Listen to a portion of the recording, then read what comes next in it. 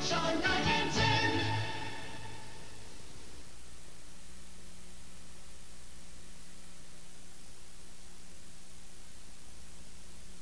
People thousands of miles away tried to register concern. Today, the largest demonstrations were in London, where a march, march and a benefit concert were staged, among other things, to protest yesterday's decision by the European Common Market not to order new trade sanctions against South Africa. In South Africa, the government says two people were hurt today in the Cape Province when a bomb went off at a trash can, and that nine people died in a 24-hour period yesterday, four of them shot at a roadblock.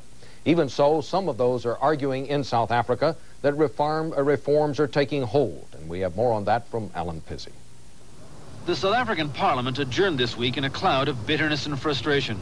Eight major bills removing hundreds of apartheid laws were passed this session, but the state of emergency dominated those reforms.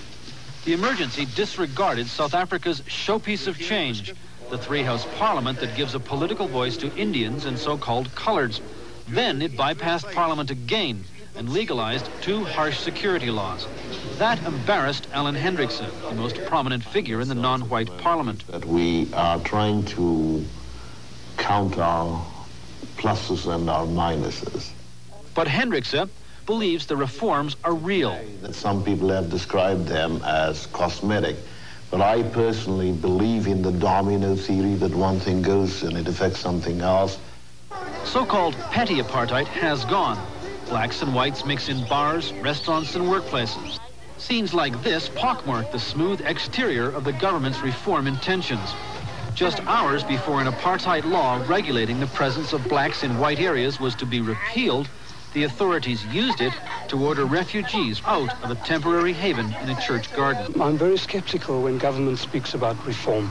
But international skepticism drives the white government to despair. We are now reaching the height of reform in our history.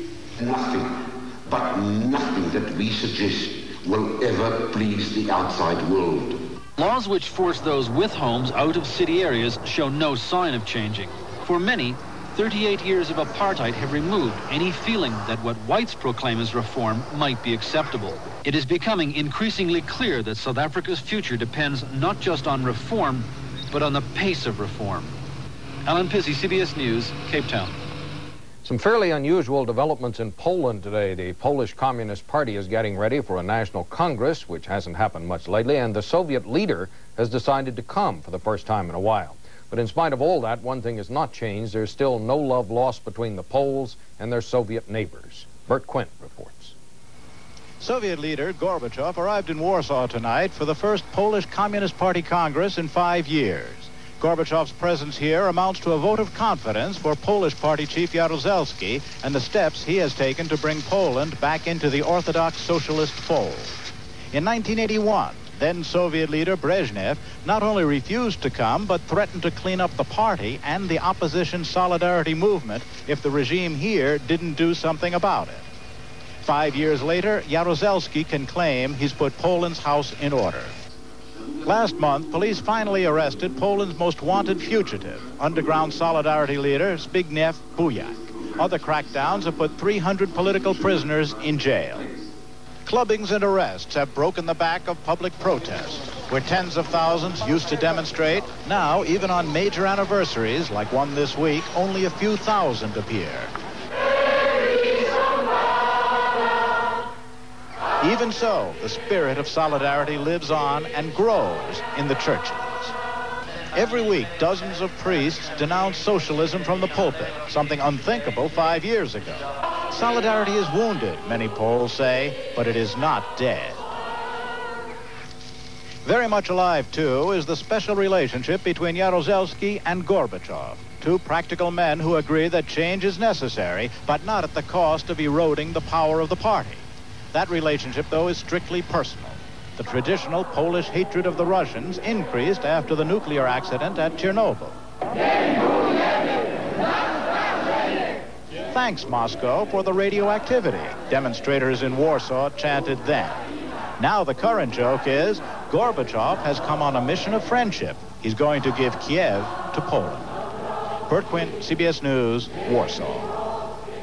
Secretary of State George Shultz is homeward bound tonight after a long trip to Asia, but reporters on his plane say what bothers Shultz is another subject, the lack of progress on holding another U.S.-Soviet summit. Correspondent Bill McLaughlin is traveling with the Secretary and filed this report in Hawaii. Shultz told reporters traveling with him that it seemed that the Soviets are now not interested in high-level talks with American officials. Shultz, for example, was supposed to have met twice this year with the Soviet Foreign Minister Edward Shevardnadze to discuss ways to prepare for the next Reagan-Gorbachev summit. But so far, they have not met even once, and that would seem to dim chances for a summit this year. Shultz appears to be very frustrated with Soviet behavior. He says he's willing to meet anywhere, anytime with Soviet Foreign Minister Shevardnadze, but all he gets from Moscow is silence. Shultz now says that the ball is in the Soviet court. The U.S. is willing to sit down and discuss ways to solve major problems, like breaking the impasse in arms control talks but first, the U.S. has to have someone to talk with. Bill McLaughlin, CBS News at Hickam Air Force Base in Honolulu. Later in the broadcast, we'll look at how the president took on Congress on aid to Nicaragua's rebels and won. But next, a report on the death of yet another young athlete.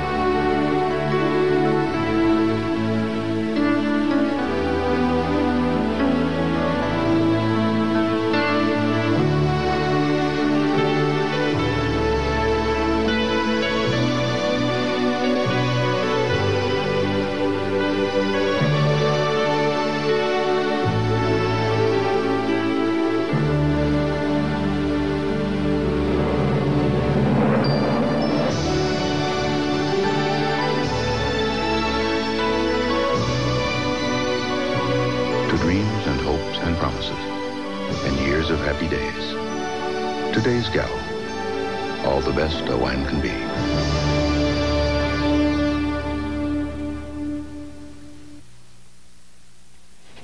In Sacramento, California today, an autopsy turned up no definite cause for the sudden death of Cleveland Brown football star Don Rogers. He collapsed yesterday. Efforts to revive him failed. Officials are not ruling out a drug connection. Nadine Berger has our report. Rogers is standing right there once again. Don Rogers was on top of the world, an outstanding Cleveland Brown free safety. He died yesterday afternoon from cardiac arrest on the eve of his wedding. He was 23 years old.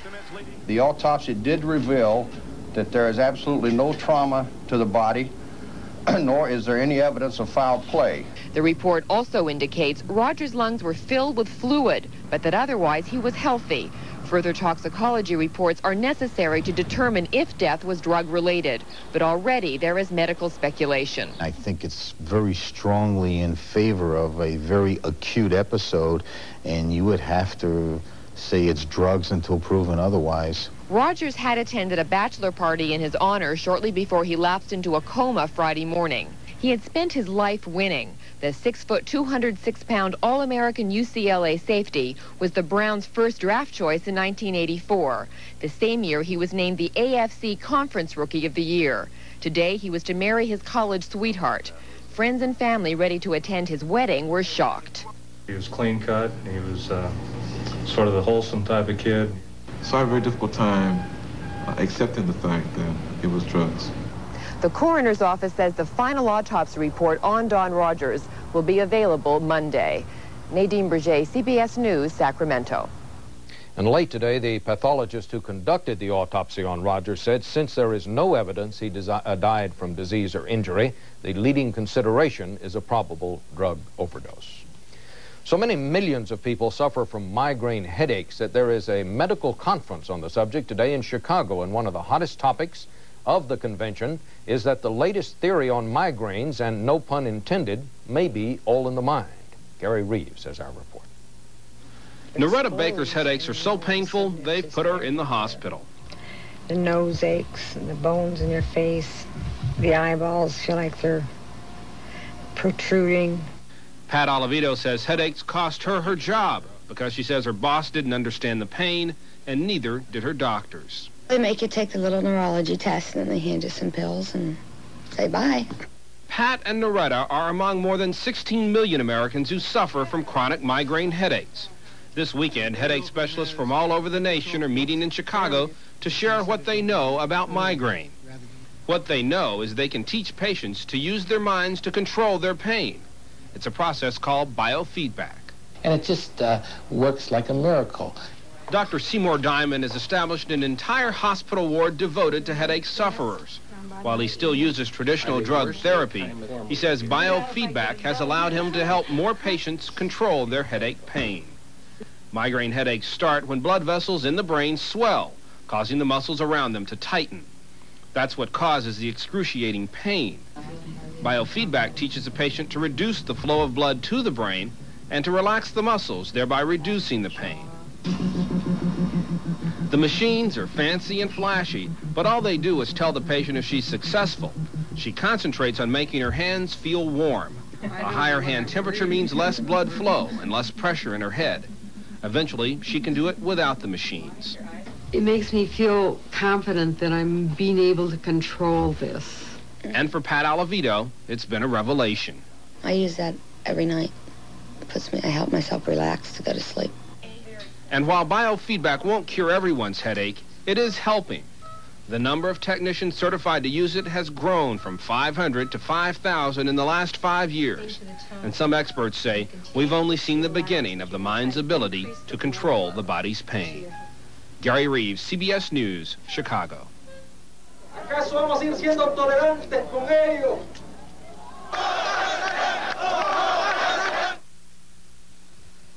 To plan a busy business, you need the IBM Personal Computer XT, today's most popular business PC. When you're very busy, you can add software from a library of powerful business programs to keep track of inventory, sales, and profits. When business gets extremely busy, your XT can store up to 10,000 pages of information. The IBM PC XT. The bigger you get, the better it gets. See it at your authorized dealer. Presenting Maragor Bold from Taster's Choice. Superior gourmet coffee beans are roasted long and dark for a strong, smooth cup of coffee. Maragor Bold. The choice for taste is Taster's Choice. To get rid of old paint and down to bare wood, you can mess around with all kinds of stuff. Or get a Wagner Power Stripper. At 1100 degrees, no heat gun works faster. Wagner does a better job. Investing by the numbers is a little like painting by the numbers. Everybody else's research produces everybody else's results. And that's less than inspired. That's ordinary. At Fred Alger, we create our own research for our own clients. $10,000 invested with Fred Alger in 1965 would be worth nearly 680000 today. That's more than inspired. That's genius. A genius for managing money. Fred Alger Management Incorporated. Sandinista officials in Nicaragua vowed today not to sit back and wait while new U.S. aid is funneled to the Contra rebels, one immediate target of the government, the voices of dissent inside Nicaragua. Michael Connor has that story. Here, there, the Yankee will die. The chant of a people being told to prepare for an American invasion. Today, a top Sandinista leader said, congressional approval of Contra aid amounts to a declaration of war by the United States. And now all of Nicaragua's energy must go to defending the revolution. Last night, Nicaraguan President Ortega told a rally, many Nicaraguans who oppose the government are only instruments of U.S. foreign policy. He asked if the government should continue to be tolerant with them. Ortega warned there may be a crackdown on political parties, unions, and Catholic Church officials. He said some of these use the cover of politics to cause dissension and help the Contras. What we have here is a war, and in warfare, you fight back with war. The party leader also warned Nicaraguans living overseas might be considered to have abandoned their country at a time of need, and so be barred from coming home. Mike O'Connor, CBS News, Managua. At his California Ranch White House today, more controversy about aid for the Nicaraguan rebels as the president relaxed about 50 Contra aid opponents convoyed up the mountain to speak and chant their minds at the ranch entrance. But Then some Contra supporters showed up, and the two uh, sides had what was described as a spirited exchange of views. For the White House, getting the Congress to approve more aid for the Nicaraguan rebels was a big victory that came after a massive lobbying campaign. And when the president described what might happen in Nicaragua this week if Congress turned down the aid, he did it in the harshest terms. We will have to confront the reality of a Soviet military beachhead inside our defense perimeters about 500 miles from Mexico. The speech was only part of it. Contra leaders and their supporters were roaming the halls of the Capitol. And congressmen were being herded to the White House as the administration turned up the pressure on Contra aid. Despite what you might think, pressure from the White House is not the worst thing that can happen to a congressman. And it provides an opportunity when the lobbying takes place for people to be able to say, you want this, Mr. President, I want something too. We can have a little give and take here. And you get it at the highest levels. Elliott Abrams, one of the administration's top strategists, told Deborah Potter it is a good time for a congressman to get the ear of the White House. We went through the congressman name by name. What issues is this man interested in? What will affect that woman's vote? We just kept at it and at it and at it. And we did that because the president instructed us to. Can just a little attention from the White House really have that much effect? Just ask the top congressional Democrat. One of our fellows who had been voting with us consistently said, I had never spoken to a president face to face before. I was more awed than if I had talked with the, with the Pope as a Roman Catholic. One Republican who went against the president told Mary Martin that in the end, the president just wore them down. Yes, I, I think uh, the president's perseverance has been very impressive here. And the president has proven to be uh, stronger in leadership uh, than uh, the Congress. And the Congress uh, has caved to uh, a very strong president. But it was probably more than that, because whether or not they agree with the president on a volatile issue like Nicaragua, new congressmen learn early on that it is usually safer politically to go along with the president, rather than risk the heat that comes later if the president proves right. What the president did was not wear anybody down, but he said, we are going to keep this issue here and you're going to have to face it. And the Congress did. The Congress lived up to its responsibility in a very good way. And in some cases may also have picked up a plum or two from the White House for the folks back in the home district. We do not expect a press release from either side on that part.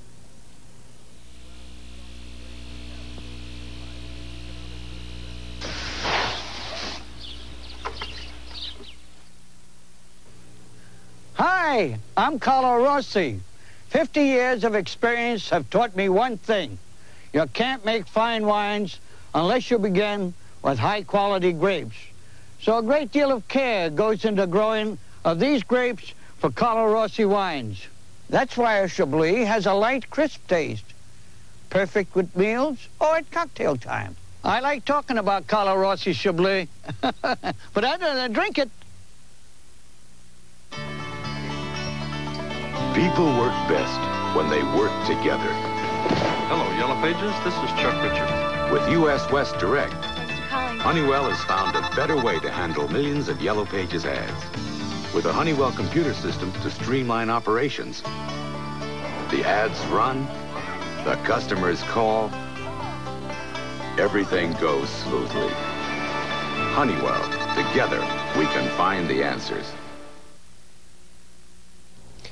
There were more heavy rains today in parts of Mississippi, Arkansas, and Louisiana, the last remnants of what was once Hurricane Bonnie. The storms brought about 10 inches of rain and flooding to Shreveport, Louisiana yesterday, but flood waters receded today. And many residents returned home to find the damage left behind. Some 300 homes were damaged or destroyed in the Shreveport area. North Carolina could use some of the rain. It's been years since it's been so dry there, and they now expect it to get worse. We have a report from James McManus.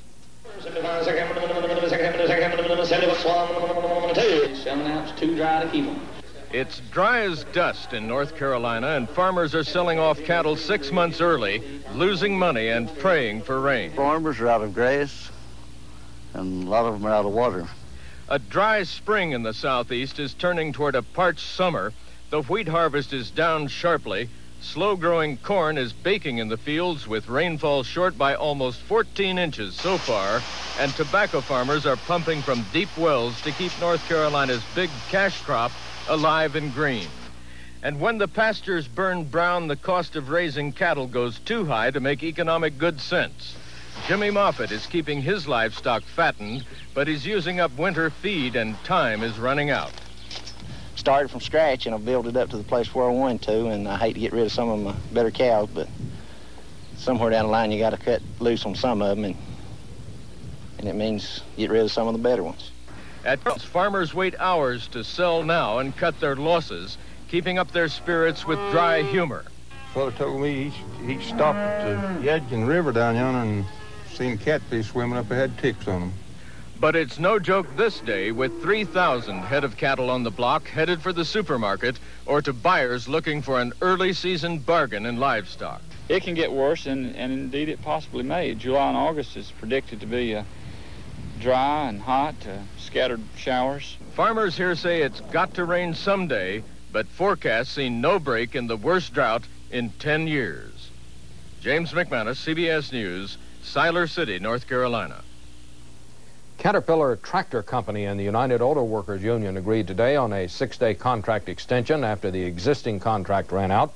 That averted, for now anyway, a possible strike by 17,000 Caterpillar workers in five states.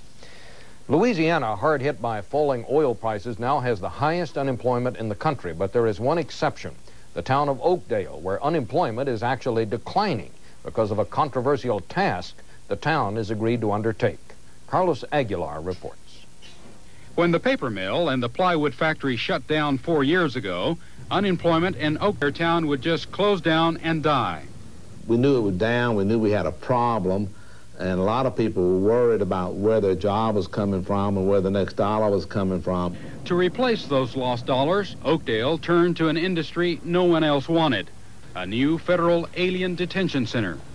Surprised, very pleased, very uh, very happy to become a part of this community, and it's it's been a very good relationship uh, all along. Yeah.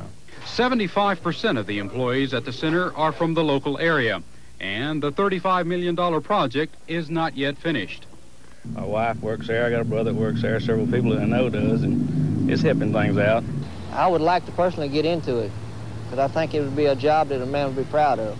Although the majority of the local people are in favor of this detention center, it does have its critics.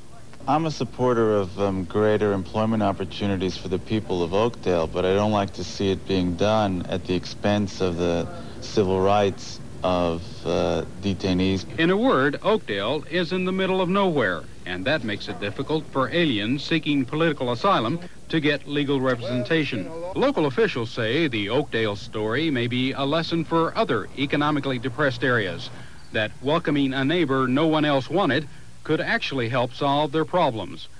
Carlos Aguilar, CBS News, Oakdale, Louisiana.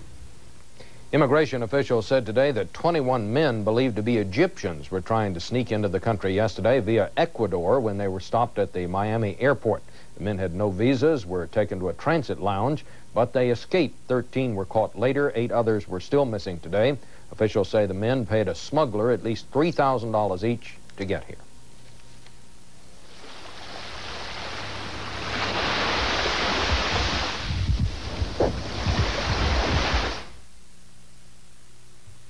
Near Subaru. I work on an Indian reservation, and road conditions here are just atrocious. I've often taken some potholes a little faster than I should have. Yet I've driven my Subaru over 80,000 miles with less than $25 in engine repairs. Some people don't believe that, but as they say here on the reservation, Siskwook, Mosma, Monk, Chishon. Of all cars in America, Subaru is second only to Mercedes in customer satisfaction. Which cereal has more vitamin nutrition than any other? Kellogg's Product 19 cereal. But you'd never guess. Oh. Because Product 19 vitamins are flaky, bumpy, crispy, crunchy. And taste so good. Product 19 goodness comes from corn, oats, wheat, and rice. Delicious. Kellogg's Product 19. Flaky. Bumpy. Crispy. Crunchy. Mmm. Tasty vitamins. Hey, denture wares. If you love your Polident green, would you smile? If you love your Polident clean, would you smile? If you love it and you know it, hey, just smile and show it. If you love your Polident green, would you smile? Super Strength Polident Green. You'll love the way it powers away tough food stains and keeps your dentures sparkling clean, even in between. If you love your Polident clean, would, would you, you smile? smile? Finally tonight, a story about one woman's fight to save a national landmark on New York's Long Island. It's a struggle against time and the elements, but so far she's winning. Victoria Corderi reports.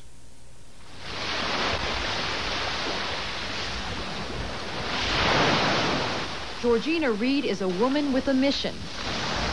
This plucky 4 foot 11, 77 year old is single handedly battling to keep the Montauk Point Lighthouse standing. I really don't care about me as long as it's there. And I hope it'll be there for several hundred years to come. The lighthouse was built in 1797, and over the years, erosion ate 250 feet off the bluff surrounding it and threatened to swallow up the lighthouse, too. But then Georgina Reed stepped in with a home remedy. She calls it Reed Trench Terracing, a system she created when erosion threatened her own home. She digs out little terraces, fills them with hollow reeds, and covers them with sand. You have to have a, a way to hold the, the soil down in positions like this, and only grass will do it. Roots, deep roots, shrubs, deep, anything deep and grabby that grabs the soil will hold it. Eventually, grass grows over the terraces and prevents the rain from washing away the soil. It's not aesthetic. It looks like hell, but it does the job. Georgina volunteered her services to the federal government 16 years ago. She's spent $40,000 of her own money and countless hours of her own time on these bluffs. I love it madly. Why would I be here if I wasn't? When I turn around and see the ocean there, I get my reward. It's wild. It's wonderful. The method to what some might call Georgina's madness is working. The Coast Guard says erosion has stopped. On this little piece of the world, Georgina Reed is fortifying against time.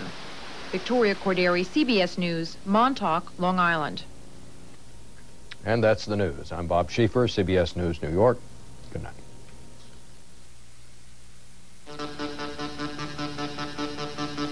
We're MCI. To score points with you, we must choose our communications weapons carefully. That's why we compete with products like Prism, the ultimate concept in watts. For maximum flexibility as your monthly call patterns change. We know our competition's good. We know we have to be better. And because we compete, you win. MCI. Communications for the next hundred years. When you need it most, you can get extra strength relief from acid indigestion with extra strength Riopan Plus. In lab tests, it neutralizes twice the acid as regular Maalox or Mylanta. It's that strong. you can also get extra strength relief from heartburn with extra strength Riopan Plus. Ounce for ounce, it neutralizes twice the acid as regular Maalox or Mylanta. It's that strong. extra strength Riopan Plus. Regular strength, too.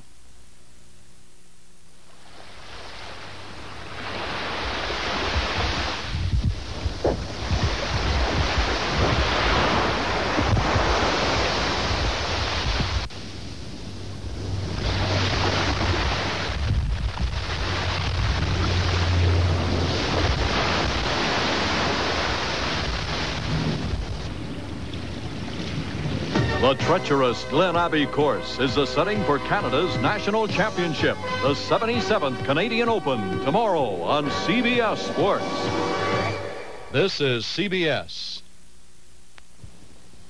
Jim Navar has the experience to know what you're looking for. Selection, price, high trade-in value, and service. At both Navar Ford locations, you can expect great selection from the new Ford Taurus to tough Ford trucks. Jim Navar has what you're looking for. Two locations mean a high volume and absolutely the best possible price. You can trust 40 years of automotive experience. Thousands of customers have seen the Navar Ford difference. See it yourself at Navar Motor Sales Barrington and Navar Ford Lincoln Mercury Elma.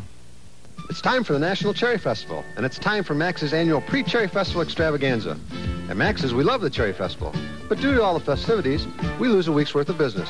So from now until Cherry Festival week, all those great GE refrigerators and ranges, washers and dryers, dishwashers and microwaves will be reduced for this special event.